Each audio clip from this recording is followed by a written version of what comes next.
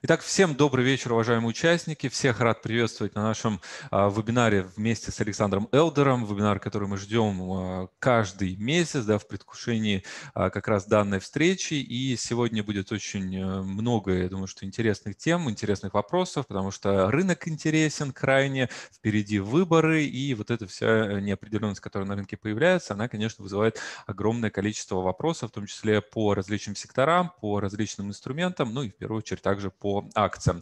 А, перед началом, как всегда, в самом начале это предупреждение о рисках. Всегда важно помнить, что торговля на финансовых рынках, она связана с рисками. Это крайне важно понимать и крайне важно научиться с этим э, параметром, да, с этим аспектом торговли научиться работать и э, быть, э, что называется, дружить да, с рисками. А, несколько слов о компании Admiral Markets. Мы все присутствуем как раз на площадке Admiral Markets. Мы с Александром проводим данный вебинар уже, наверное, наверное, полтора года. А, и а, несколько слов также скажу для тех, кто присутствует впервые на наших вебинарах. Admiral Markets это является а, международной брокерской компанией. Мы на рынке уже 19 лет, работаем в различных юрисдикциях, в различных правовых полях и предоставляем сервис для наших клиентов как с точки зрения трейдинга, так и с точки зрения инвестирования. Для наших клиентов доступно два типа счета. На одном вы можете торговать с использованием кредитного плеча. Безусловно, это внесет Э, больший риск, поэтому нужно крайне аккуратно к этому подходить. И также мы предоставляем платформу, а, ну точнее платформа одна и та же, это MetaTrader, а, где вы можете также инвестировать в акции, то есть покупать акции и держать их в своем портфеле сколько угодно. То есть там нет свопов, а, как это обычно бывает на, на счетах с маржинальной торговлей. Вы платите только за открытие, за закрытие позиции, вам начисляются дивиденды, и вы таким образом также формируете свой портфель. Поэтому если вы начинающий трейдер, то а, конечно, более а, понятно, что торговля и так э, сопряжена с рисками, но а, это такое начало, оно, по крайней мере, будет чуть более для вас безопасным. Мы предоставляем огромное количество инструментов, то есть это не только американский рынок, это европейские акции, азиатские акции, то есть порядка 8 тысяч инструментов сейчас доступны как для трейдинга и так для инвестирования. То есть фактически вы можете выбирать, исходя из того, какие действительно инструменты для вас интересны. Ну и также у вас всегда есть поддержка вашего персонального менеджера, который вам будет по всем вопросам а, помогать в ходе взаимодействия э, с компанией.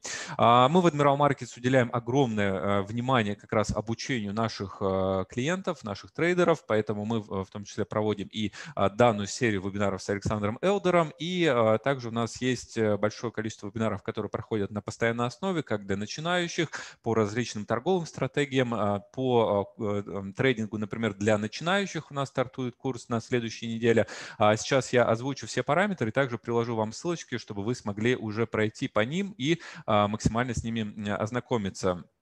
А, также я рекомендую подписаться на YouTube-канал Admiral Markets. Вот сейчас сразу же ссылку отправляю в чат, а, потому что там будет добавляться и всегда добавляется запись данного вебинара, и под этой записью вы как раз можете принимать участие в конкурсе и выиграть книгу с автографом Александра. Чуть позже в ходе вебинара я также расскажу об, об этих правилах. И если бы вы хотели максимально быстро, максимально оперативно получать напоминания о вебинарах, а, получать э, ссылку на запись, то рекомендую подписаться на телеграм-канал Admiral Markets Markets. Там мы э, максимально оперативно выкладываем и наши подкасты, и новые видео, и, конечно же, видео вместе э, с Александром, которые мы э, записываем, выкладываем на наш YouTube-канал.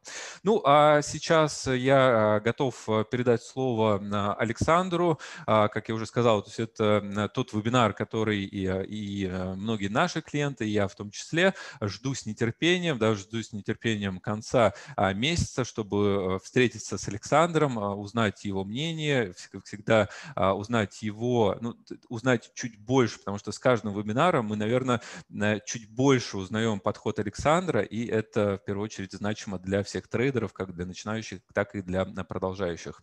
А, Александр, принимайте микрофон, передаю слово вам. Спасибо большое, Роман, за такое доброе вступление и, конечно, за напоминание о рисках, э, потому что э, очень много новичков попадаются на какие-то дикие рекламы, э, э, как торговать без риска, как, как делать деньги в свободное время, 10 минут в день, не зная арифметики и тому подобное. То, что вы напоминаете о том, что это очень серьезное дело и связанное с рисками, как и с выигрышем, естественно, это, конечно, очень важно. Спасибо еще раз за приглашение. Я рад, что вы довольны, что сегодня вебинар, потому что я, смотрю, я, я как раз сегодня с утра, у нас сейчас час дня в Вермонте, где я живу, я с утра думал, хм, лучше бы, наверное, сделать было вебинар, вебинар этот на неделю позже, после выборов, потому что сейчас, конечно, совершенно, совершенный кавардак с этими выборами. Совершенно непонятно, как все это дело закончится – Э, с одной стороны, с другой стороны. Э, может быть, я начну с того, Роман, если вы не возражаете, что пару слов о выборах, потому что да, конечно. вопросов на тему. Конечно. А, э, демократы и республиканцы идут нос в нос сейчас. Демократы по официальной статистике немножко опережают – Э, но дело в том, что э, республиканцев довольно серьезное то, что называется молчаливое большинство. Э, выступать с республиканских позиций стало непопулярным. Вплоть до того, что вот, ну вот здесь, здесь, где я живу, в Вермонте, конечно, это место тихое, но поехать в Нью-Йорк, если на машину налепить плакатик значит, за Байдена, некоторые повернут нос. А если налепить плакатик за Трампа, то лучше машину на ночь на улице не оставлять. Э, не будет целой к утру. Э, и поэтому очень многие сторонники Трампа помалкивают, э, а значит, демократы молчат. Меня, хочу сказать, удивляет, наверное, ничего не должно удивлять, что, что у Трампа так напряженно идут дела, потому что экономика до этой пандемии была в прекрасном состоянии, в самом лучшем за всю историю Америки. Причем это было не только для богатых и обеспеченных людей, это было даже для бедных. Например, безработица среди негров стала самой низкой за всю историю Америки. То есть работа была для всех. Естественно, вся эта пандемия всех подрубила. Э, ну, не всех, как раз наоборот. Пандемия очень интересно, что происходит сейчас. Э, выход э, экономики из пандемии идет в форме буквы «К». Значит, одна рука вверх, другая вниз – образованные люди, люди, которые могут работать по удаленке, э, стоят очень хорошо. Люди, которые обслуживают их, э, э, строители, доставщики, тырпыр, тоже очень, очень заняты все. А, а плохо стоят люди, которые, работа которых связана с личным обслуживанием. Гостиницы, рестораны, транспорт. И, конечно, многие из них это относительно меньше образованные люди, больше женщин и больше нацменьшинств. То есть такое происходит расслоение, э, кто, сказать, кому лучше, а кому хуже, к сожалению. А, но тем не менее, э, э, кроме того, внешне, во внешней политике Соединенных Штатов выводятся войска практически отовсюду сейчас. Трамп говорит, мы не должны быть мировым полицейским. Войска возвращаются домой, потерь гораздо меньше от всяких террористов местных, тамошних. Э, э, мир на Ближнем Востоке. Вдруг, значит, все, значит, все заключают соглашения дипломатические с Израилем. Совершенно меняется карта мира. Э, и при этом, и при этом Трамп борется за свою политическую жизнь. Его очень многие не любят за его вульгарность и грубость. И я первый скажу, что да, он вульгарный и грубый мужик. Я, я бы его к себе домой не пригласил. Но не то, что он хочет ко мне прийти домой, но я бы его не пригласил. В отличие, скажем, от Бориса Джонсона в Англии, который очень интересный мужик. Но при этом, но при этом я голосую не за друга, я голосую не за гостя, а я голосую за того, кто лучше для страны. Э, э, главным вопросом э, в этих выборах для меня является безопасность демократического общества. У демократии есть враги, Э, поскольку наше существование, существование демократической свободной страны, это, э, это как раздражение, вызов, э, атака, наше само существование, это атака на тоталитарные общества. То, что мы существуем, у их жителей, подчиненных и заключенных вызывает мысль, что можно жить по-другому, можно жить со свободой слова. В 20 веке Э, у демократии были две главные угрозы. Э, это Советский Союз и фашистская Германия. Э, обе эти угрозы были значит, отправлены в Освояси. Одна с кровью, другая практически без. А главная угроза 21 века – это коммунистический Китай. То, что они вытворяют сейчас, грозятся очень круто нападением на Тайвань, Э, действия в Индии, захваты э, островков в Южно-Китайском море. То есть прямо как Советский Союз. Советский Союз был как рак, он, он во все стороны э, отправлял метастазы. В Афганистан, в Финляндию, в Восточную Европу. Вот так же сейчас себя ведет и Китай. И для меня вопрос выборов – это вопрос, какой президент будет лучше противостоять этой угрозе нашему существованию. Но э, многие люди не смотрят так далеко, смотрят, так сказать, себе под нос. Э, пандемия, э, многие винят Трампа за плохой ответ на пандемию. Я на это смотрю так. Ни у кого не было идеального ответа, потому что предыдущая пандемия была в 1918 году, печально известная испанская, испанская инфлюенса все мы выросли не без такого личного знания, что такое пандемия, как с ней бороться. И все стараются как лучше, но не получается, сказать, все работают экспромтом. Короче, выборы предстоят в следующий вторник, и э, посмотрим, посмотрим, как они пройдут. А, действительно, бабушка надвое сказала в данном случае. А, в связи с этим, в связи с этим а, я не вступаю ни в какие долгосрочные операции на фондовом рынке сейчас. У меня есть какие-то позиции, которые я держу уже долго, э, их я не трогаю. Э, чуть-чуть занимаюсь дейтрейдингом, даже вот сегодня с утра. Но вот такие вот позиции там на неделю, на пару недель слишком рисково.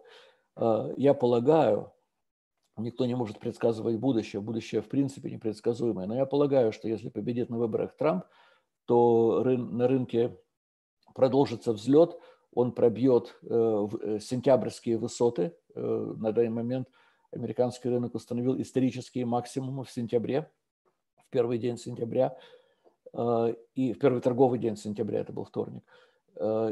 И вот так вот. А если победит Байден на этих выборах, то трудно себе представить, чтобы рынок не попал бы под серьезный стресс, потому что Байден, среди всего прочего, обещает повысить корпоративный налог максимальный с 21% до 28%.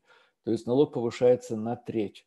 А, с другой стороны, будет, будут определенные компании, э, которые под Байденом э, должны расцвести. Это компании, связанные с Китаем, потому что Байден занимает очень такую прокитайскую позицию. А, и акции, связанные с большой прессой – Э, Twitter, Facebook, э, потому что э, все эти компании сейчас находятся под давлением. Администрация Трампа говорит, вас, вам дали, их освободили от ответа. Много лет назад, когда интернет был еще совсем молодой, вот эти компании, Facebook, Twitter, все они были освобождены от ответственности за то, что не печатают на своих страницах.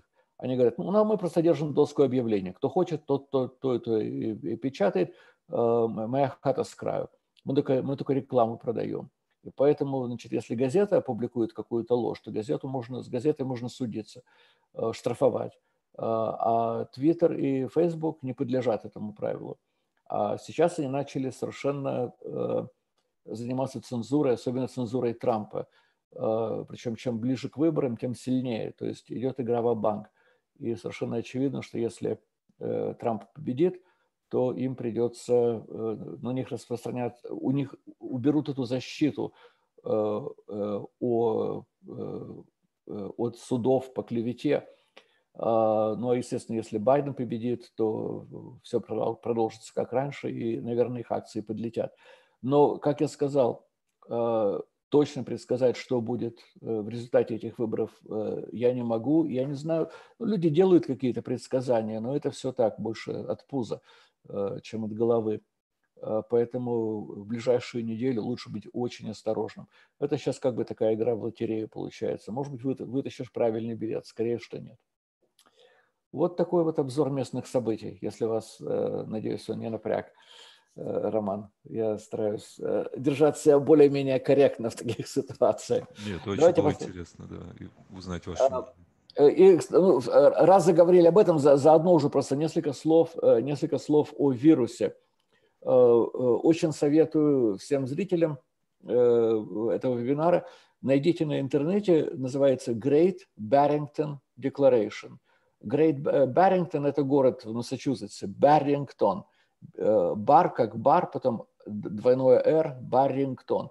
Great Barrington Declaration. Написали ученые, крупные ученые, эпидемиологи. Дело с вирусом в том, что, э, все, что заболеваемость повышается по всему миру. Она повышается в Америке, в России, э, в Западной Европе, э, повсюду. Но при этом смертность резко понижается по сравнению, заболеваемость приближается к уровню весны этого года. При этом смертность гораздо ниже, чем она была тогда. А, исследования английских ученых показывают, что когда кто-то переболел переболевает э, коронавирусом, то иммунитет э, вырабатывается, но потом э, начинает понижаться. И уже начинаются случаи повторных заболеваний. И что эти ученые говорят, я сказать, полностью сказать, купил их позицию, даже подписался под их декларацией. Они говорят, что коронавирус никогда не уйдет. Это будет как грипп, он будет с нами постоянно, на очень-очень долго. Но постепенно значит, его опасность будет понижаться. Э, и для того, чтобы э, эпидемия так сказать, не била так сильно по нам, нужно, чтобы люди переболевали им. Э, естественно, никакой политик не может сказать, надо, чтобы люди переболели, сразу выкинут из офиса. Надо, чтобы люди переболевали им, но при этом защищать людей в группах опасности – есть люди, для которых коронавирус очень опасен. Это старики, это толстые, э, это люди с различными сердечно-сосудистыми заболеваниями. Э, вот эти вот люди должны быть защищены. Э, а для всех остальных жить нормально, открывать рестораны, соблюдать, очень соблюдать правила гигиены, часто мыть руки, не выходить из дома, если у тебя малейшая простуда и так далее, и так далее. То есть, э, не прят... то есть э, все эти лог... Э, локдаун, по-моему, даже по России говорят локдаун, все эти локдауны ничего не решат в конечном счете.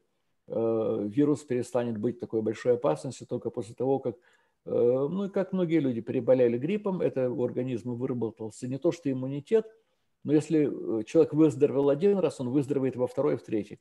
То есть все, после этого, значит, для него это не опасно, практически не опасно а, а людей в группах, э, в группах э, опасности надо защищать. Вот, сказать, вся система. А, моя точка зрения. И я, я вам очень советую, найдите на интернете, там на всех языках, включая на русском. Э, Great Barrington Declaration. Mm-hmm. Давайте посмотрим на рынке. Мы смотрим сейчас на рынок S&P. А, значит, э, как всегда, э, как участники этого вебинара, которые с нами были раньше, знают, э, я хочу на все рынки всегда смотреть в двух временных зонах, в длинной и в короткой. Значит, слева недельный график, справа график дневной. Естественно, народ паникует, когда рынок идет вверх. У большинства людей очень странный взгляд вообще на рынке. А, если сегодня он упал, значит, он завтра будет падать. Если сегодня он поднялся, значит, завтра будет подниматься. То есть э, э, рынок упал, но глядя вот на этот график с левой стороны, на недельный график, то, что происходит здесь, э, это совершенно, по крайней мере, на данном этапе, идет бычий рынок, который начался весной, в, в марте-апреле. Э, у этого рынка совершенно нормальная э, струк, бычья структура. Э, новая высота где-то в июне, немножко раньше, Роман, вот новая высота, и потом он, он оттягивается обратно вниз к зоне ценности. Зона ценности – это зона между двумя скользящими средними, длинной и короткой. Новый взлет в сентябре к новой верхушке, к исторической – опять падение в зону ценности, опять взлет в октябре. И то, что происходит сейчас, э, я это не могу назвать иначе, чем падение в зону ценности. Э, у нас просто нет информации для того, чтобы называть это разворотом. Для того, чтобы э, обозначить что-то разворотом рынка, у нас должна быть структура более низкая высота и более, глубокой, более глубокая впадина. То есть у нас уже имеется более низкая высота, это вот то, что было 3 бара тому назад. Нет, э, вот, вот это более низкая высота, она ниже, чем была в сентябре. Но у нас еще нет более низкой э, впадины. Поэтому на данном этапе это все еще выглядит структура как бычий рынок, э, в котором происходит, происходит реакция. Смотрим на... Да, еще такой, такой момент. Смотрим тоже с левой стороны на самое ниж... нижнее окошечко. Это индекс силы. И э, посмотрите на глубину индекса силы э, сейчас и, и в марте. Да? Вот, вот это вот была сила медведя в марте. А это справа, у правого края, это сила медведя сейчас. Ну, скажите мне, медведи сильнее или слабее? Вот это был медвежий рынок. То, что сейчас, это такая реакция. Переходим на правую сторону графика. Что мы видим здесь? А, э, цена, две скользящие средние, э, и они окружены автоконвертом. Когда цены выходят за границу автоконверта, мне это всегда напоминает психиатрическую клинику э, в городе Тарту, где, где я проходил свое первое, первое обучение. Я вспоминаю этих маниакально-депрессивных пациентов. Когда они маниакальные, их приходилось Э, как-то ограничивать, иногда даже привязывать к кровати. У нас не было лекарств хороших, это было очень давно, чтобы они вообще в, в ажиотаже своем э, не набили бы себе синяков, просто бегая и отталкиваясь от стен. Э, и вот когда рынок выше верхнего конверта, это маниакальный пациент. Когда рынок ниже нижнего конверта, это у пациента депрессия. Опять-таки надо его караулить, очень внимательно, держать обязательно в запертой комнате, потому что бедолага может э, с горю просто подбежать и выброситься сквозь стекло, выброситься в окно. У пациента депрессия. И вот мы здесь смотрим, вот на этом графике перед нами, мы видим э, график поведения маниакально-депрессивного пациента. У, у него был маниакальный эпизод в сентябре, вот в самой середине, да, э, нет, левее, левее, да, когда он вверх выскочил, маниакальный эпизод, счастлив, все, сейчас на Луну. Э, маниакальный эпизод сменился депрессивным, э, и э, депрессивный эпизод сменился маниакальным. И теперь скажите мне, сами скажите, какой эпизод у правого края? Это нормальное состояние, это депрессия или мания? Знаете, когда пациент себя так ведет, это затягивает, затягивает персонал. Персонал тоже хочет или радоваться, или горевать. И вот в данный момент персонал рынка хочет горевать. Все, все, рынок разваливается на кусочки. Рынок разваливается на кусочки. А доктор-психиатр немножко стоит в сторонке и говорит, да, у бедолаги депрессия, но она пройдет. Эта депрессия достигла уровня, э, экстремального уровня, на котором она э, очень долго продолжаться не может. Вот это просто так не бывает. Э, вот предыдущая депрессия длилась сколько? Пять дней. Ну вот у нас сейчас первый день этой депрессии. Э, закончится она сегодня? Вряд ли. Завтра? А, может быть. Э, в пятницу более вероятно, а скорее на следующей неделе, да? Э, теперь закрываем глаза и покупаем? Нет. Почему нет? Ну, во-первых, есть такой мелкий фактор, как выборы будут во вторник. А, да и вообще, не надо быть героем, не надо быть героем и рваться покупать на нижней точке, а надо подождать, пока это стабилизируется и начнет подниматься, э, когда цена начнет залезать обратно в конверт.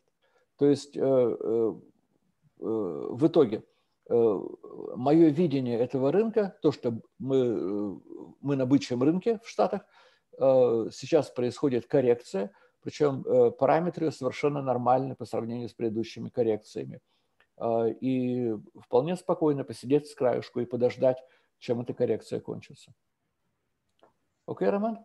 Угу. Тогда, ну, вот э, основной момент вы, наверное, все сказали по S&P 500. В принципе, это тоже сходно с другими инструментами, но вот быстро посмотрим тогда, так. например, DAX 30, тоже очень многие наши клиенты его торгуют, и тоже интересно услышать ваше мнение. Угу. Очень, очень интересный график, Роман, очень интересный график. С левой стороны, где, э, с левой стороны, где э, недельный график, да, а, опять-таки мы видим, что э, цена выпала, значит, упала ниже скользящих средних, но в следующем окне мы видим MACD-гистограмму, нет, с той же левой стороны. И эта MACD-гистограмма гораздо более плоская, чем она была, скажем, в марте. А если мы смотрим на индекс силы в нижнем совсем окошке, то он, он показывает, что сила медведей гораздо меньше сейчас, чем она была тогда. Э, то есть происходит коррекция, происходит коррекция.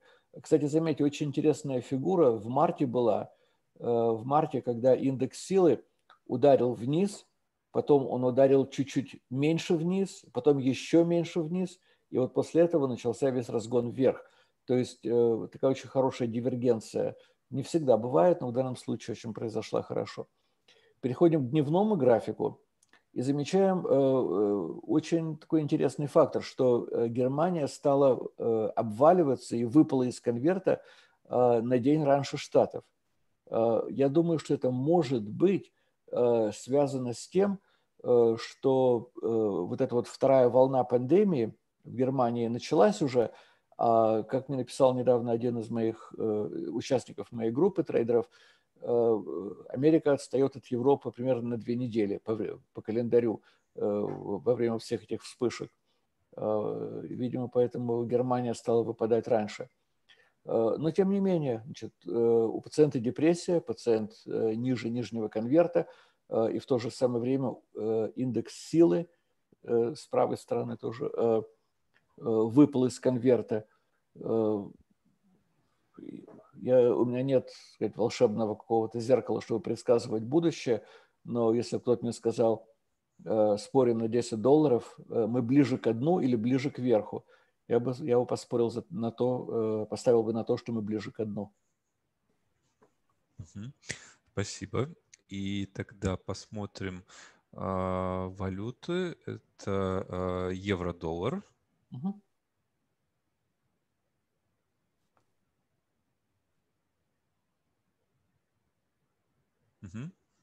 Okay. Um, это у нас э, э, слева, э, кликните, пожалуйста, на, на недельный график, слева, да? Да, слева недельный. Да. Это евро, оцененный, я настолько привык американскими фьючерсами на валюту торговать, что должен спросить вас, это евро, оцененный в долларах, да? Да, все верно. То есть сейчас есть... за 1 евро дают 1,17 долларов. Окей. Okay. Um, как, uh, я не вижу uh, uh, вот это вот донышко в евро. Какой это месяц был, когда это было? Один момент. Правее чуть-чуть. Вот самое вот это донышко здесь. Какие это были числа? Я на экране на своем не могу видеть. Э, сейчас это... я сделаю так. Это было а, март, 22 марта. Окей. Okay. Uh, то есть в евро, э, в евро произошел такой очень серьезный взлет. Uh, затем евро осел, uh, и опять-таки осел до зоны ценности у правого края. И он сейчас сидит на уровне поддержки, на уровне поддержки а, в то, э, в то время как MACD-гистограмма э, достигла э, низкого уровня, который обычно сопутствует донышкам. И индекс силы достиг уровня, который сопутствует донышкам. То есть сейчас я стал бы ждать дна в евро и новой стадии подъема. Давайте посмотрим на дневной график теперь.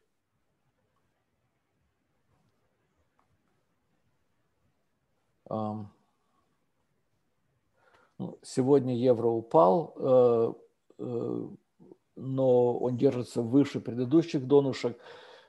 Это знаете, э,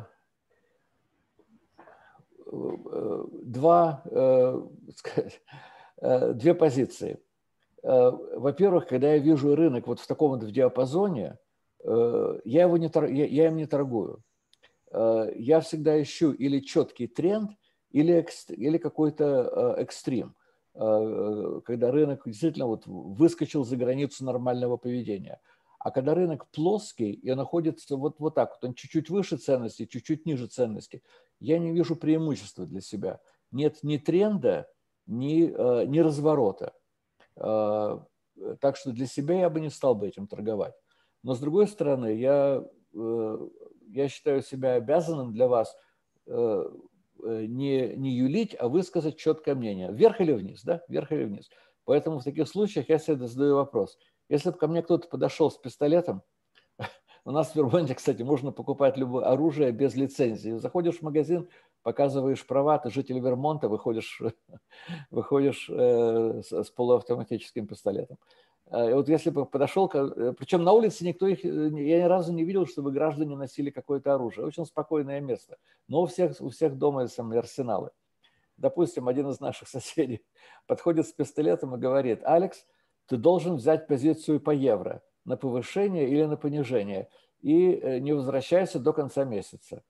Э, ну, под пистолетом пришлось бы сделать выбор. Я бы сказал, я бы тогда купил бы евро. Все-таки недельный график идет вверх, э, дневной график э, держится хорошо. По собственной воле торговать бы я им не стал. Слишком плоско, слишком плоско и на том, и на том графике. Но если бы кто-то меня вот заставлял высказать мнение, я бы сказал евро на повышение. Угу. Спасибо, Александр. И тогда вот завершим, наверное, такой экспресс-обзор а, а, по всем рынкам а, золотом.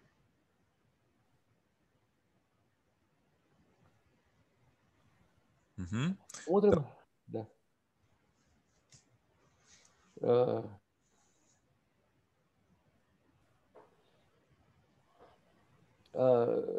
Я уже не помню. Э, а, э, э, была Э, была песня э, в Америке э, довольно давно.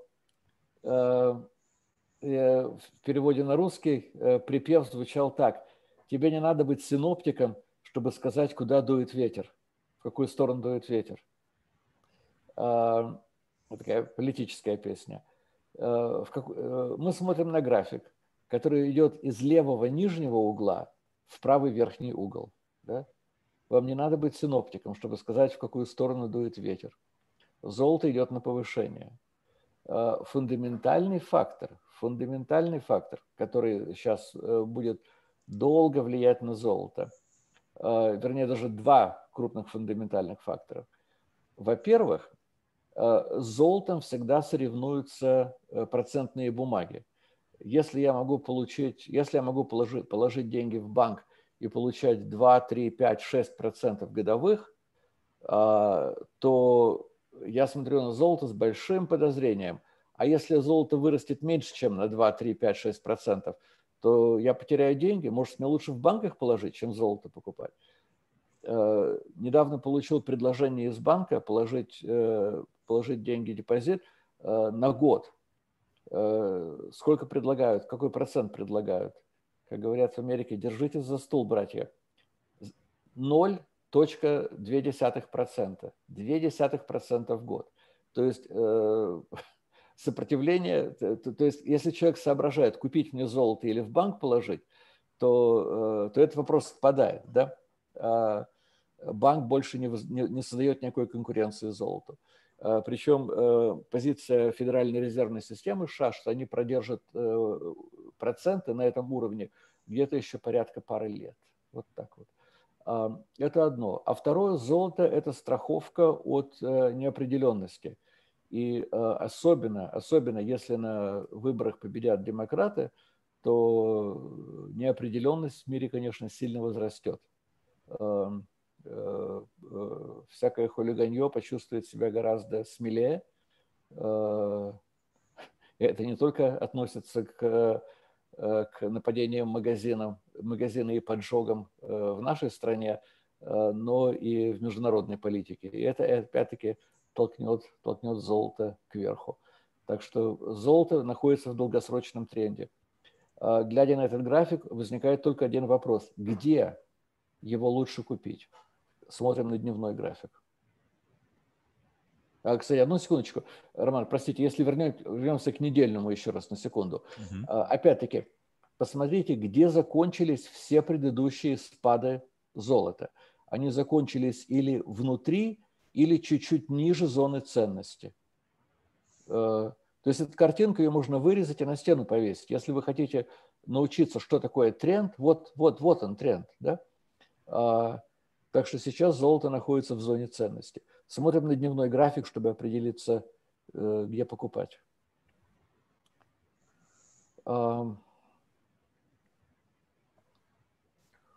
Очень плоско, очень плоско, очень плоско. Сегодня, значит, золото падает.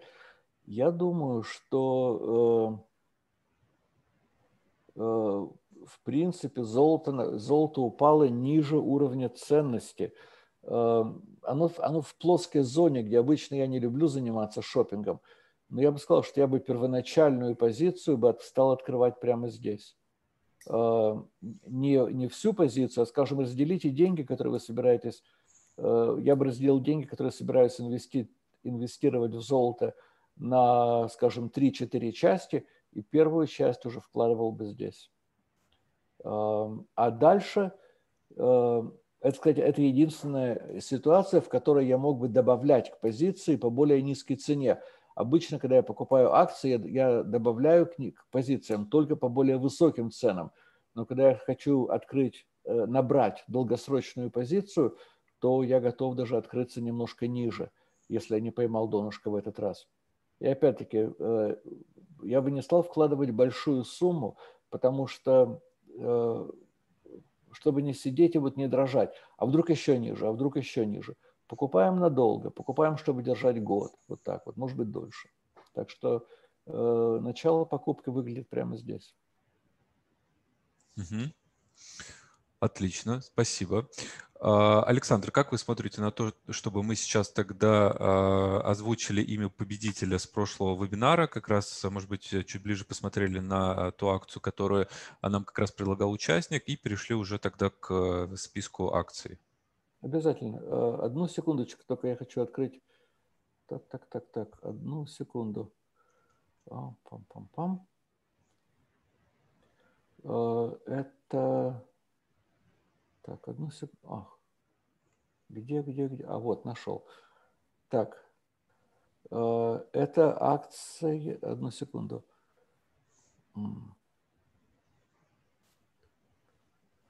Это, если не ошибаюсь, акция VIPS. Да? VIPS, да, да. все верно. Вы, вы ее покажете или я покажу ее? А, вы можете пока открыть. Э, я сейчас э, вот скажу пару слов, просто по этому конкурсу есть очень интересная статистика, а, и потом передам слово вам, то есть вы ее покажете тогда на графике. Прекрасно. Я просто хотел сказать, что а, очень удивительно, но мы ведем этот конкурс с августа, и каждый раз побеждает акция, которая в моем списке идет пятой. То есть если мы посмотрим в августе, это был SIG, если мы посмотрим в сентябре, это была FedEx, э, в октябре это VPS, то есть вот я просто не меняю вот эту желтую метку, которая у меня стоит, всегда попадает туда победитель. И забегая немного вперед, э, на пятом месте у нас стоит акция Wing. Ну, посмотрим, сработает ли это в четвертый раз. Уже, ну, пока... Ну как, если сработало три раза, уже точно сработает в четвертый. Все покупаем Wing. Да, поэтому вот я со своей стороны хотел сказать то, что а, Светлана Григорьева, которая приложила данную акцию, возможно, она находится сейчас у нас а, а, здесь, поэтому я вас поздравляю. Мы вам отправим а, книгу с автографом Александра. Я также, если вас нет здесь, я обязательно вам напишу а, в YouTube-канале, да, чтобы мы с вами связались, и мы, соответственно, смогли для вас отправить эту книгу. И уже чуть дальше мы также, я озвучу в конце вебинара правила конкурса, да, еще раз, то есть мы дальше посмотрим акции, которые предложены были на ноябрь, поэтому с моей стороны, э, Светлана, принимайте поздравления. Я тогда останавливаю демонстрацию экрана и передаю слово э, Александру.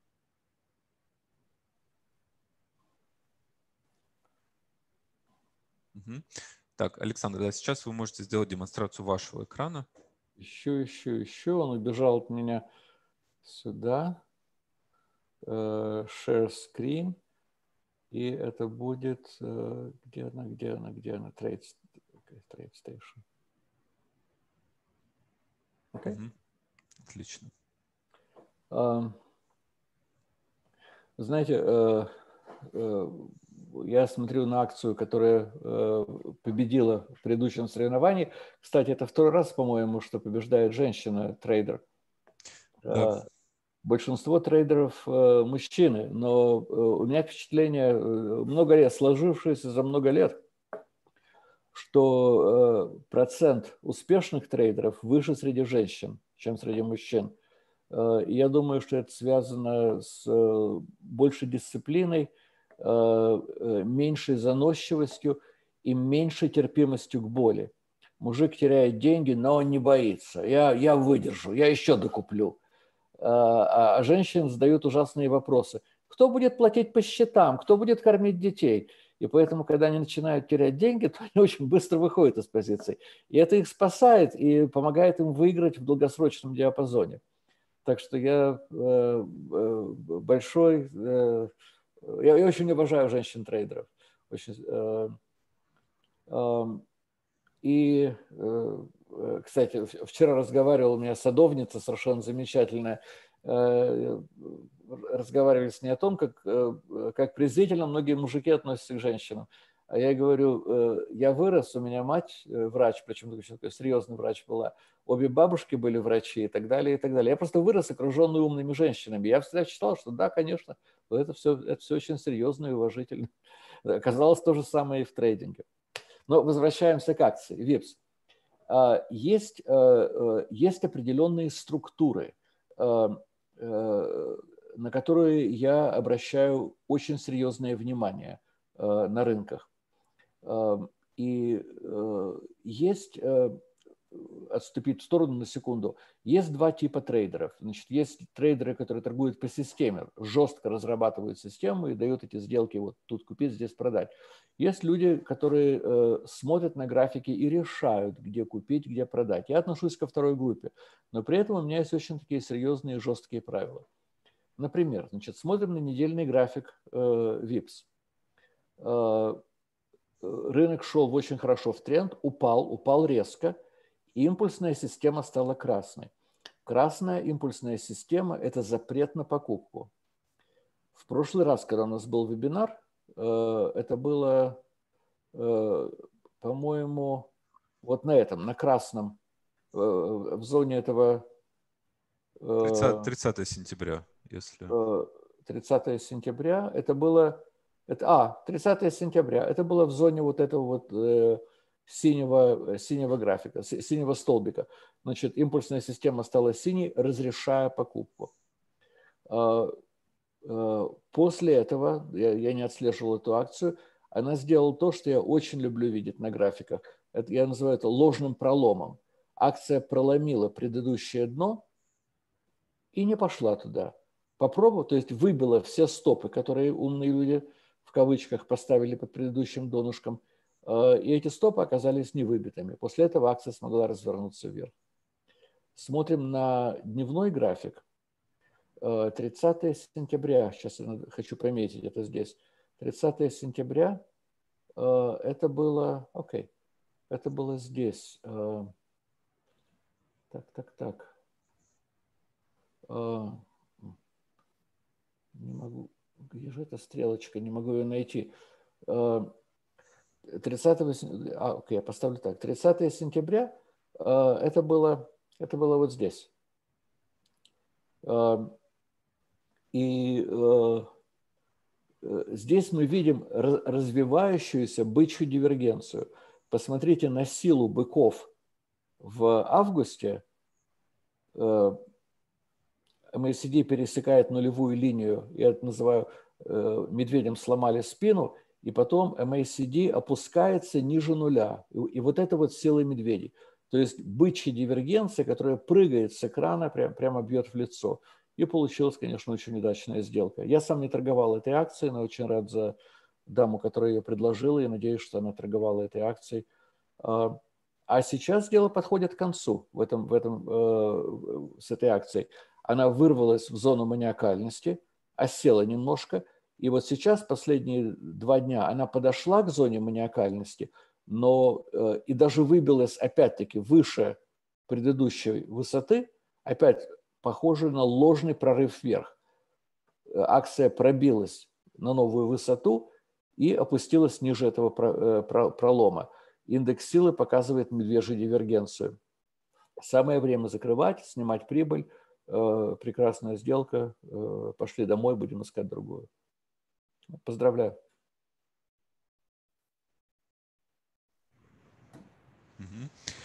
А, если э, у вас, Александр, нет ничего, что можно было бы добавить по тому списку, который был, э, то можем тогда перейти к э, текущему, то есть по, по давайте тем предложенным. Да, давайте, Роман, еще вопросов много пришло. Да. Но давайте посмотрим акции. Я буквально за, за минуты до, до начала нашего вебинара очень быстро прошелся по всему списку. Как вы сказали, список очень длинный, 32 акции. Я точно хочу знать, какая пятая, потому что это с гарантией будет выигрыш. Да? А, но я отметил э, э, интересные акции, которые, вот, на мой взгляд, э, привлекательны для меня. Идем по порядку. Вот, кстати, это, кстати, от той же самой дамы, Светлана Григорьева, по-моему. ВИПС это ее был, Светлана Григорьева, да? Думаю, да, это была Светлана. Она первая в этом списке. Она присылает две акции. Кстати, обе акции выглядят очень интересно. Одна акция – это BABA, э, Alibaba, китайская акция. Совершенно четкий аптренд, э, тренд вверх на недельном графике. И э, периодически эта акция опускается к зоне ценности, где она, собственно, находится и сегодня, к зоне ценности или немножко ниже. И оттуда происходит очередной взлет. То есть э, вот если играть на повышение, вот в день, когда рынок паникует, э, э, покупаем товар на распродаже. Значит, акция вчера, вчера продавалась по 318 долларов, а сегодня 11 долларов, сегодня 10 долларов скидки, значит 3% скидки. Покупаем? Можно купить. Для себя я ее не покупаю. Э, я не покупаю китайские акции, просто вот у меня правило такое. Но технически она выглядит очень хорошо, и э, если, э, если вы совершенно четкий аптренд на недельном графике и такие совершенно мягкие нормальные колебания на дневном.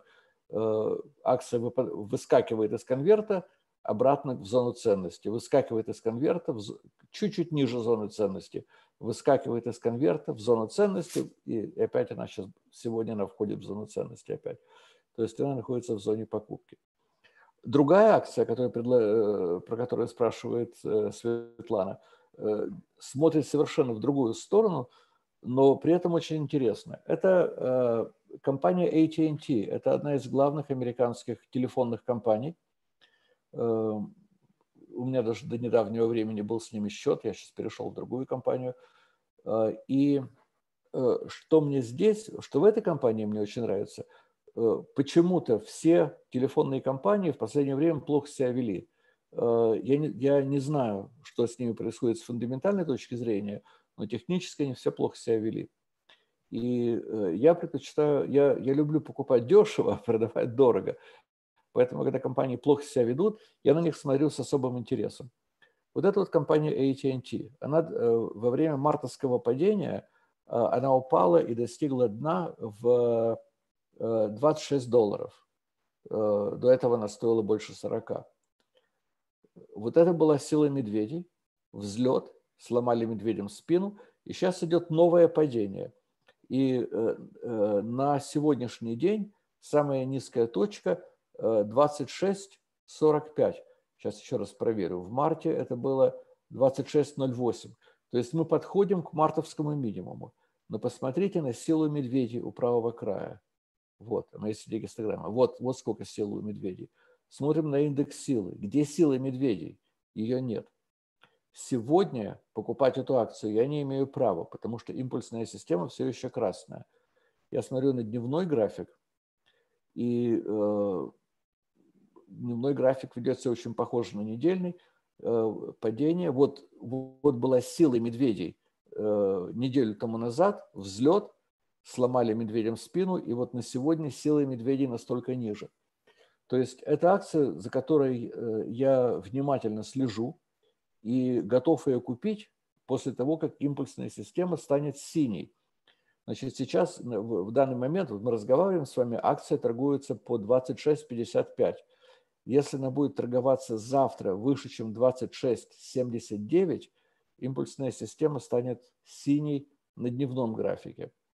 На недельном графике зона пересечения 27 э, э, с, полов... с полтиной на, эту неделю, а на будущей неделе зона пересечения 27. То есть она сейчас 20, то есть если акция поднимется на 50 центов на следующей неделе, покупка станет легальной. Э, очень, очень привлекательная акция. И опять-таки без спешки. Без спешки, без беготни акция приближается к зоне покупки. И э, в идеальном варианте, в идеальном варианте я бы хотел увидеть, что она опустилась бы на несколько копеек ниже мартовского дна, которое было 26.08. Если это произойдет, то это вообще будет как пирожок на экране. То есть ложный пролом на недельном графике и бычья дивергенция. Красивше не бывает, э, но э, требуется терпение. Вот, кстати, тоже женское достоинство, терпение. Э, мужикам это дается очень трудно, мне это очень трудно дается, давалось, по крайней мере, потому что с детства нам говорят, ну что ты сидишь, сделай чего-нибудь. А делать нечего, надо сидеть и ждать. Очень трудно. Следующая акция, а, тоже, кстати, э, э, от женщины-трейдера Анна Викторовна, хочет, она прислала несколько, пару акций, но одна, которая привлекла меня, она хочет закоротить PayPal. PYPL. Это фирма электронных платежей. А технически выглядит великолепно на недельном графике. Э, э, акция взлетела очень сильно, э, взлетела очень сильно за время пандемии. Почему? Потому что куча магазинов позакрывалась временно или постоянно, а PayPal обеспечивает платежи когда люди покупают что-то э, через интернет. У меня у самого есть, есть счет PayPal, которым я очень активно пользуюсь. То есть это очень полезная э, программа, э, но, но не лучшая программа, потому что они, особенно когда платишь через границу, за границу чего-то, они снимают очень такие некрасивые проценты. Кстати, Роман, есть замечательная компания, которую два эстонца организовали – TransferWise, вот, вот, вот как если деньги посылать э, за границу. TransferWise, да, они находятся в, в одном с нами здании, то есть мы хорошо знаем эту компанию. Да. Очень хорошо. Э, я пользуюсь ими, когда какие-то серьезные, когда нужно деньги посылать там, из, из одной валюты в другую. Так вот, э, высота, высота PayPal э, была 212,45. Это было в сентябре. А на прошлой неделе высота PayPal – Э, была 215,83, то есть на 3 доллара выше, на, на, пол, на полтора процента, грубо говоря. Э, ложный, ложный пролом вверх, медвежья дивергенция MACD линий, медвежья дивергенция MACD гистограммы, медвежья дивергенция индекса силы. Кто-то что-то знает про PayPal, что очень плохо. Э, и это дневной график PayPal, он значит, уже начинает обваливаться – Э, я обычно люблю коротить э, в зоне ценности. PayPal уже ниже зоны ценности. Но э, много лет, довольно много лет назад я определил для себя, что не стоит искать акции, где великолепный недельный график и великолепный дневной. Мне, я ищу, чтобы в паре один график был великолепный, а другой был бы окей.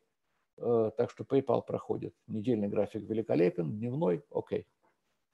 Идем быстро, смотрим другие акции. Вадим э, хочет купить акцию с неприличным названием. Э, DHR. Э, компания, в Америке этого люди, конечно, не понимают, но компания называется Донахер. Э, DHR.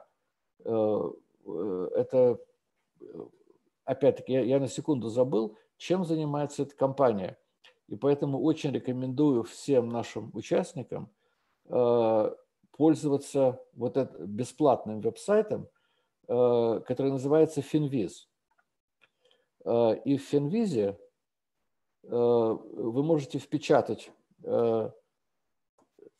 индекс любой компании DHR, бесплатная программа это, и это говорит, значит, это, они занимаются диагностикой и исследованиями, то есть это, видимо, как-то с медициной связано, связана компания.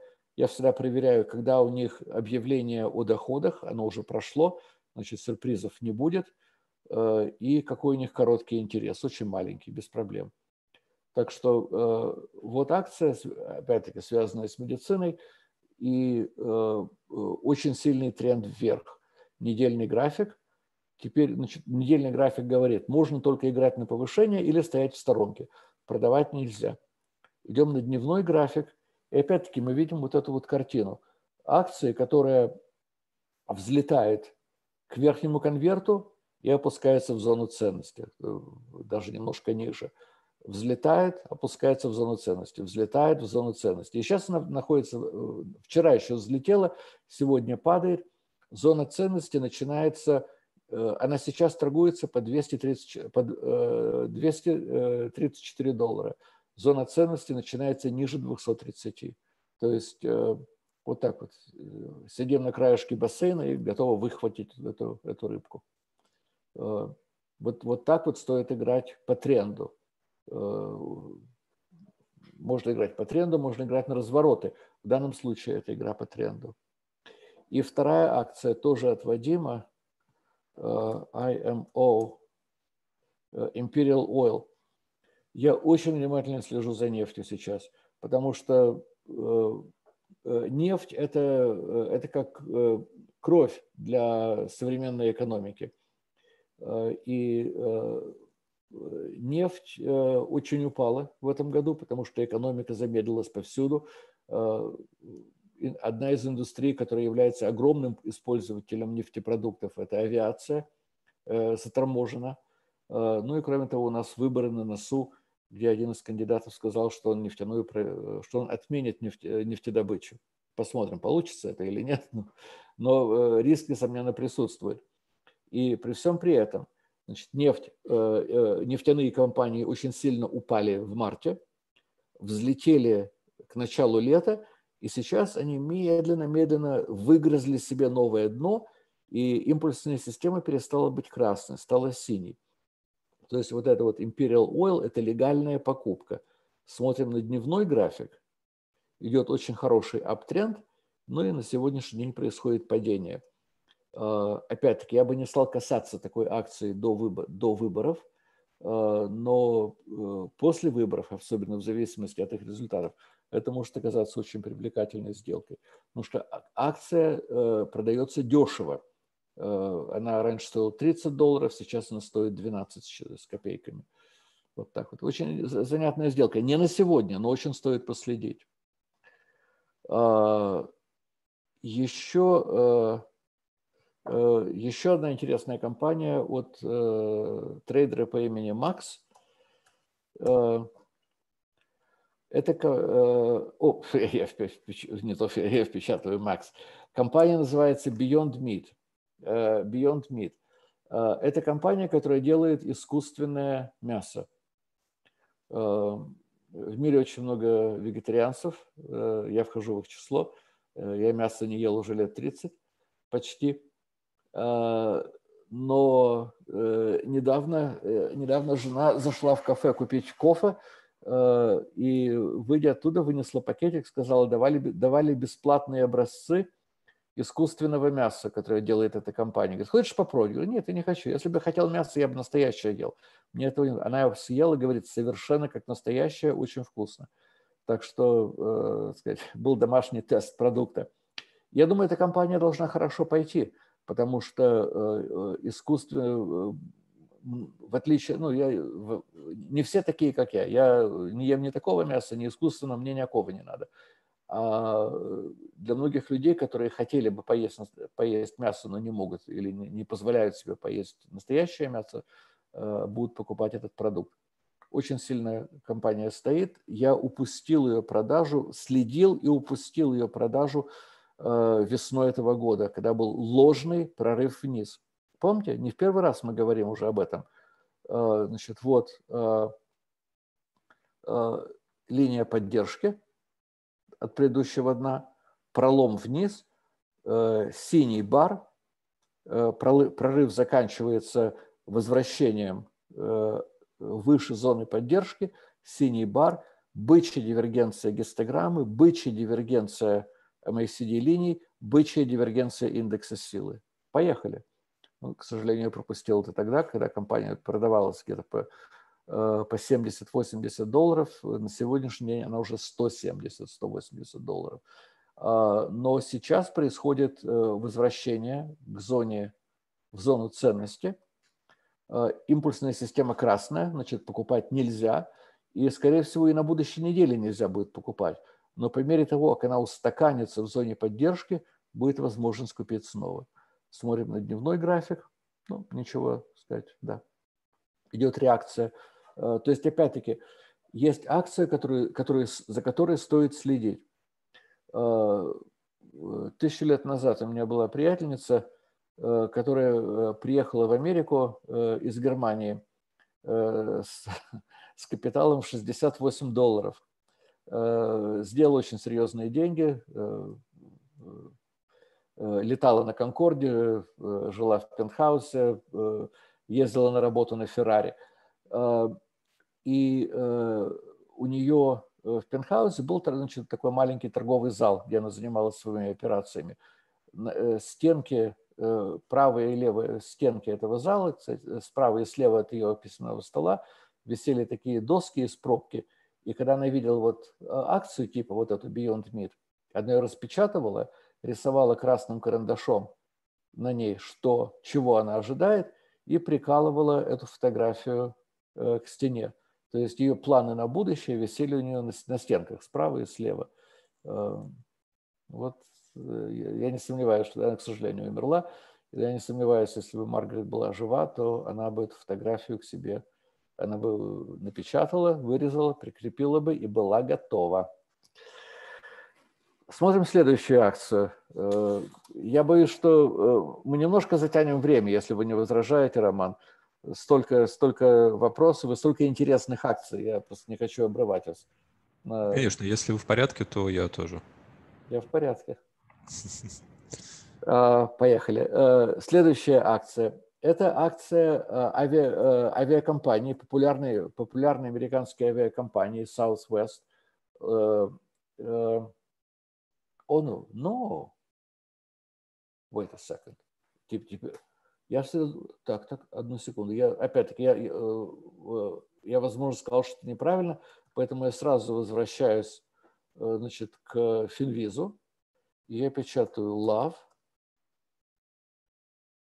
Вы знаете, этот символ love, это всегда был символом этой авиационной компании Southwest я пропустил что-то. То есть это, это, это, okay, это не Southwest. Это компания, значит, которая продает что-то всякое. Мебель написано, мебель, свет. Uh, ну, я это проверю, что, что произошло со старым тикером потом. У них всегда был... А, я вспомнил, в чем дело. Авиационная компания, они love по-другому пишут. Они пишут, они его пишут вот так. Это, это сленговое написание. LUV. Love. Вот, love, Southwest Airlines. А, окей. Okay сбился. Значит, love, который пишется как в классическом стиле L-O-V-E, э, это мебель, э, освещение и т.д. и т.п. Э, за время пандемии в Америке произошел бум на все связанное со строительством. Даже есть нехватки некоторых стройматериалов, потому что все сидят по домам, делать людям нечего, и все, э, по крайней мере, те, у кого есть какие-то деньги, все в свободное время занимаются тем, что улучшают свой образ жизни, а давайте добавим комнату, а давайте добавим освещение, а давайте поменяем обои, давайте, давайте. Поэтому да, все связанное со стройкой во время этой пандемии произошел бум. Но э, как пандемия начинает затихать, а с нее и бум. И вот эта компания Love. Опять-таки, это фигура, которую я всегда очень внимательно отслеживаю – Значит, э, верхушка в августе была 36, э, э, почти 37 долларов. Верхушка две недели тому назад была почти 38 долларов, то есть на 3% выше. Вот так вот, да? Ложный выпад, ложный пробой вверх. Попробовала и не смогла. И дивергенция, жесткие дивергенции MACD линии, MACD гистограммы и, э, и, индекс, э, и индекс силы. То есть очень, я отмечаю себе, чтобы потом разобрать и, может быть, самому торгануть ею. Опять-таки, я не хочу ничего трогать вот в предстоящие четыре дня, потому что с этими выборами это, это это как орел и решка получается играть. Но это замечательная система на недельном графике. Замечательная система для игры на понижение. Э, смотрим на дневной график. Дневной график выглядит нормально. Недельный выглядит прекрасно. Дневной график выглядит окей, ничего особенного. Так, а, и опять-таки, это, это был выбор от э, женщины-трейдера, Лаура. Желаю успеха. А, переворачиваю страницу, у нас осталось еще четыре акции посмотреть. Э, э, это акция, в которой я сижу, скучаю и жду, и жду чего-нибудь хорошего, что не происходит. Э, это акция компании iTube, это бразильская, бразильский банк.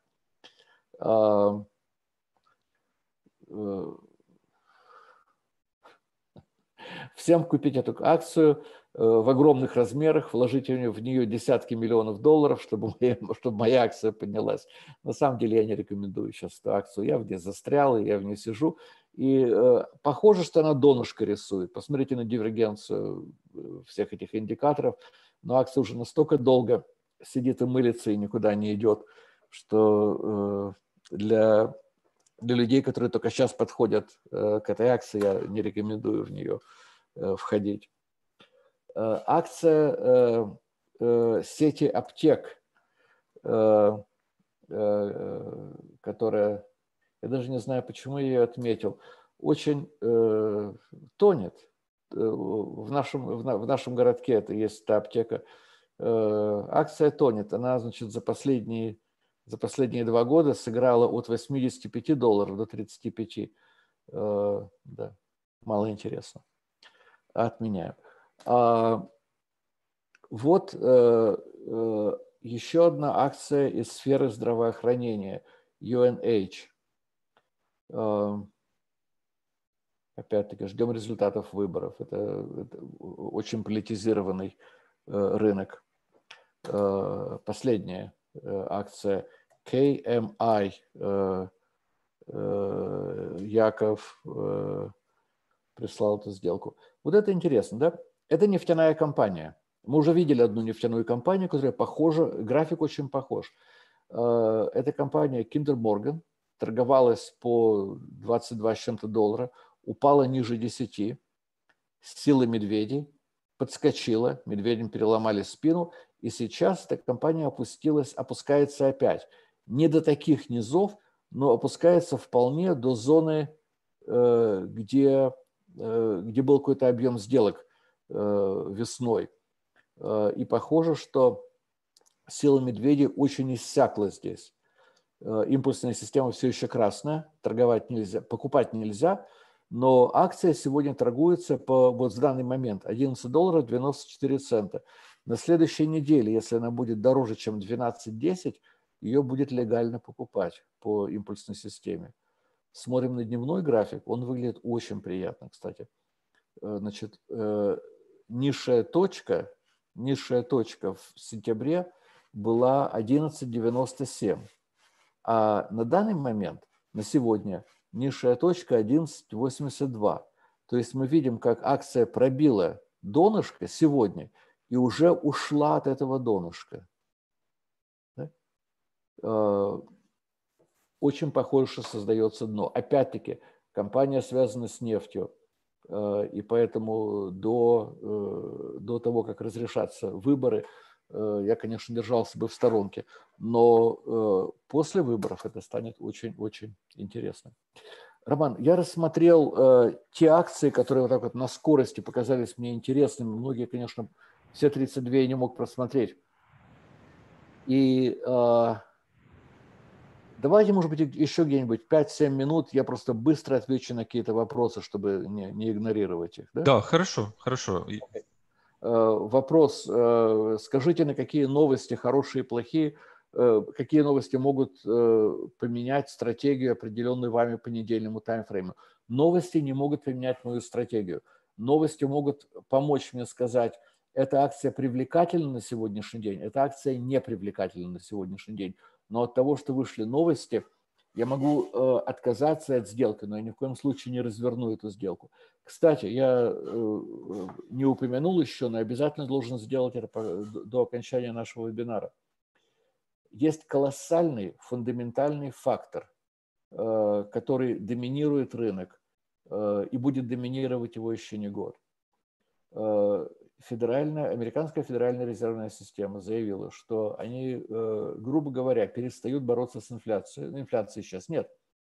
Но раньше, когда только-только начинались, начинала инфляция сказать, чуть-чуть возникать, они начинали повышать учетные проценты.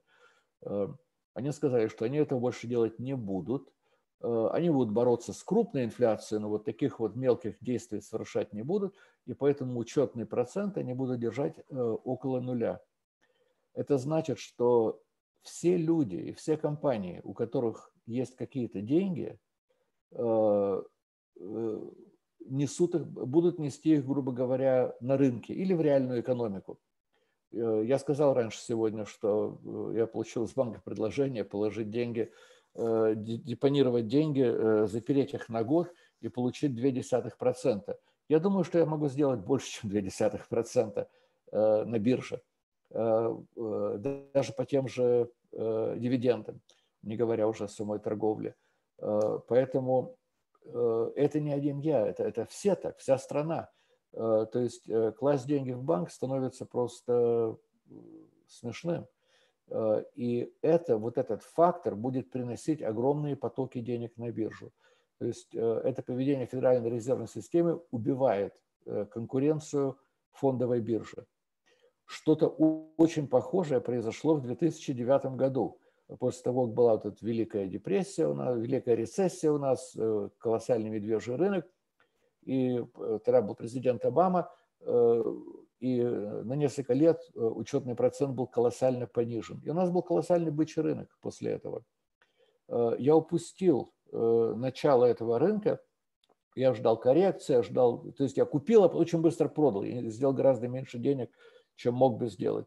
Почему? Потому что ожидал нормального поведения рынка. А нормального поведения не было, потому что э, была убрана конкуренция банков, и деньги только шли на рынке, шли на рынке, и чем те же самые акции, чем больше денег на рынке, тем выше эти акции будут.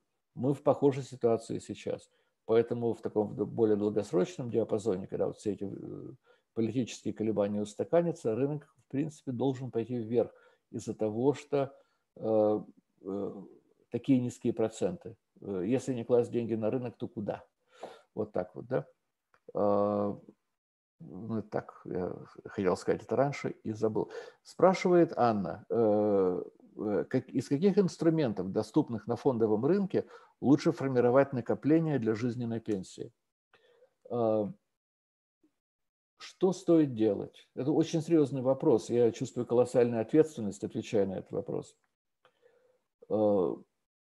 Во-первых, стоит сильно подумать о том, что покупать не индивидуальные акции, а э, инструмент, который называется ETF. То есть это пакет акций. Например, есть ETF, э, который покупает э, все акции S&P. S&P. То есть это, грубо говоря, ставка на весь американский рынок. Кроме того, есть ETF, которые Э, вкладываются в какую-то узкую сферу экономики, ну, например, телекоммуникации там, или нефть. Да? Но проще всего для, таких споко... для того, чтобы спока... спать спокойно ночью, вкладываться в ETF, который э, вкладывается во всю американскую экономику. Вопрос теперь в том, когда покупать этот ETF. И тут я вам хочу показать один график. Сейчас он у меня. Э, э, есть график, есть индикатор, который я считаю – лучшим, э, лучшим э, индикатором для долгосрочных покупок на бирже. Этот, это индикатор новых низов, New High New Low Index, индикатор новых высот, новых низов. Я о нем писал в своих книгах. И это индикатор, который сравнивает количество акций, достигших нового верха на этой неделе или нового низа. И как вы видите, я показываю вам график, который в нем 17 лет, с 93 года. Естественно, это колеблется, рынки ходят вверх, ходят вниз. Но несколько раз в десятилетие, несколько раз в десятилетие возникает ситуация, когда недельный график новых высот, новых низов опускается ниже 4000. И вот это, вот это самое лучшее время отовариваться и потом держать долго-долго – я показываю, вот, вот был сигнал, а, а вот сигналы э, второго и третьего э, годов, вот сигналы 2008-2009 э, года, вот сигнал 2016 года, когда Трампа как раз избрали в первый раз, вот сигнал Э, нового в 2019 году, и вот сигнал, который был в марте этого года. То есть, когда вот этот индекс новых низов, новых высот э, выламывается ниже минус 4000 на недельном графике, это показывает на жесточайшую панику на рынке. Э, народ выбрасывает акции. Только, то, пожалуйста, купите их у меня, снимите их с моих, уберите их у меня. Я, я их не хочу держать в руках. Вот это время отовариваться. А, если мы смотрим сейчас, э, я увеличу этот график, подходим к правому краю графика, э, то э, индекс новых высот, новых низов на недельном графике около нуля. И, кстати, здесь вы видите вот эти вот последние сигналы. Это вот сигнал 2016 года, сигнал Рождества 2018 года, сигнал этого года. И обычно после этих сигналов, говорю, они бывают несколько раз в десятилетие. Поэтому сейчас такого сигнала нет. А, но для того, чтобы создать пенсионный фонд, лучше всего э, значит, ждать такого сигнала. А, с другой стороны, э, стоит посмотреть на стабильные э, акции с большой, хорошей историей и стараться купить их дешево. Например, а, акция, опять-таки, я, я, у меня, просто сказать, сердце бьется, когда все это говорю, потому что я чувствую колоссальную ответственность, да, вопрос заходит о пенсионных деньгах. А, пожалуйста, только не принимайте то, что я говорю, сказать, э, за окончательный какой-то совет. Э, разберитесь, посмотрите, подумайте, Например, акция, которую мы, э, которую мы смотрели сегодня, одна из акций, которая была подана в наш корпус, AT&T, это American Telephone and Telegraph. Это компания, которая больше ста лет. Э, это крупнейшая телефонная компания. Э, она в свое время это была единственная компания, была монополия.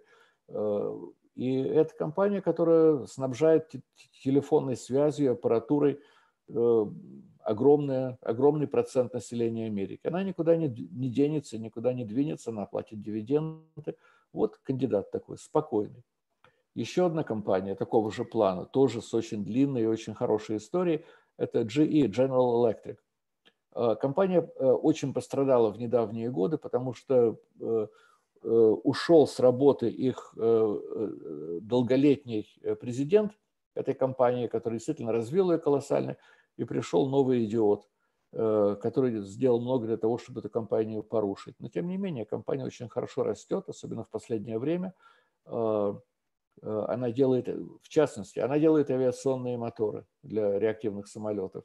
Она, она делает лампочки, которые горят в многих домах Америки. То есть в свое время, до того, как там и новый гений пришел, его, его выгнали уже, сейчас уже у него новый хороший президент. А, из каждого доллара, потраченного в американской экономике, один цент шел через эту компанию. Вот такая компания была. То есть такие вот огромные устаканившиеся компании, спокойные для пенсионного фонда.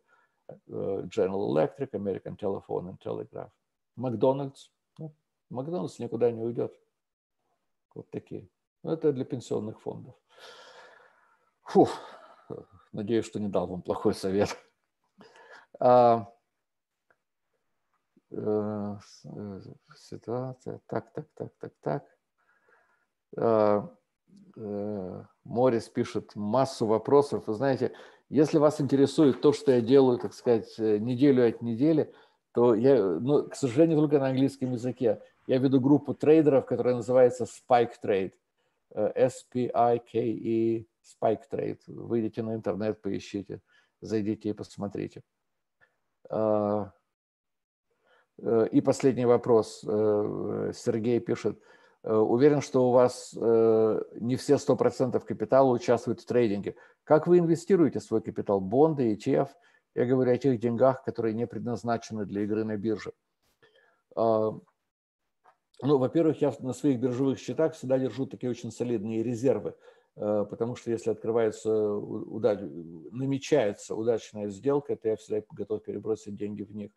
А, а из э, того, что у меня есть, э, у меня есть недвижимость э, несколько, и есть, естественно, акции, и есть резервные фонды, в которые, которые на данный момент зарабатывают очень мало, но это как нельзя жаловаться на погоду, да? Они зарабатывают мало, когда-то зарабатывали больше. Но это резервные деньги. Я знаю, что пока они у меня лежат в резерве, одно я могу гарантировать, что я их не потеряю. Это единственная позиция, в которой я никогда не потерял деньги, когда я держал их в резерве. А, вот так вот. Роман, я думаю, что мы э, осветили, осветили все темы. Э, я, правда, отхватил лишних 20 минут, но надеюсь, что вы это против меня держать не будете.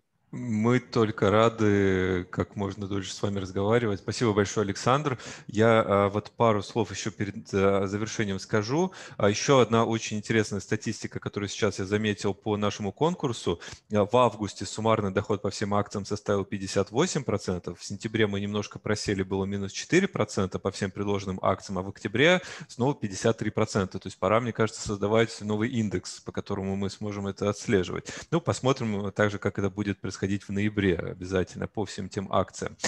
А, теперь про конкурс, да, как я и обещал, а, Каждый месяц да, мы проводим конкурс, э, в котором вы можете получить книгу с автографом Александра. Я сейчас еще раз напомню правила. А, первое. У вас должен быть э, наш YouTube-канал, YouTube-канал Admiral Markets, на который мы загрузим вот сегодняшнее видео. И под этим видео нужно предложить теперь уже одну акцию, потому что вы видите, что их очень много. Мы просто, а, Александр, ну, чисто физически не успеть все пройти, поэтому давайте условимся, что будет только одна акция от одного участника, а, кто уже присутствовал на наших вебинарах. А, и эта акция будет рассмотрена в следующий день вебинара, который будет у нас в последнюю среду ноября. Сейчас я точно скажу дату, чтобы всех сориентировать. А, это будет 25 ноября, то есть э, начиная с этой даты, с 25 ноября и до следующего нашего вебинара, который будет в середине декабря, а, как раз мы посмотрим, какая акция покажет лучшие, э, лучшие движения. Да? То есть будет это рост или будет это падение, неважно, вы можете предлагать а, любое направление. И э, та акция, которая покажет лучше всего, э, лучшее движение и получит э, книгу со фотографом Александра. То есть правила довольно-таки простые, и плюс это также помогает э, всем участникам, кто следит за вебинарами, следит, смотрит видео, как раз получить дополнительную информацию от Александра с точки зрения анализа акций. Это всегда будет очень полезно. А также акции лучше предлагать за несколько дней до вебинара, потому что актуальность их, конечно же, пропадает. То есть есть имейте в виду, что это э, движение должно быть плюс-минус актуально на конец ноября. Но а, важное условие, то есть мы принимаем акции а, к рассмотрению до 12 часов по Москве. Э, ну, возьмем такой, это часовой пояс, э, я думаю, что всем будет удобнее, 25 ноября. Да, то есть чтобы вот до этой даты мы принимаем. Дальше уже эти акции отправляются Александру на просмотр, и мы закрываем прием.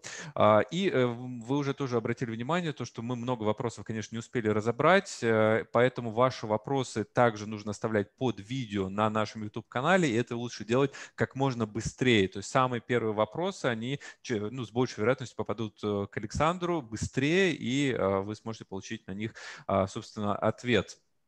А сейчас я также приложу ссылки на наш э, YouTube-канал, да, чтобы мне тоже не задерживать. То есть вы обязательно должны подписаться на канал и поставить лайк э, также под нашим текущим э, видео. Вот ссылочка также была отправлена в чат. Поэтому с моей стороны это все. Спасибо большое, Александр. Всегда рады вас видеть на данных вебинарах. Всегда очень интересно. Всегда это кладезь информации и те вебинары, которые можно пересматривать постоянно. Поэтому спасибо большое, Александр.